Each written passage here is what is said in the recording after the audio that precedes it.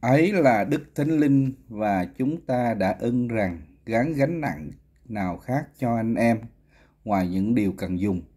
Tức là anh em phải ăn của cúng thần tượng, huyết, thú vật, chết ngột và chớ tà dâm. Ấy là mọi điều mà anh em khá kiên giữ lấy vậy.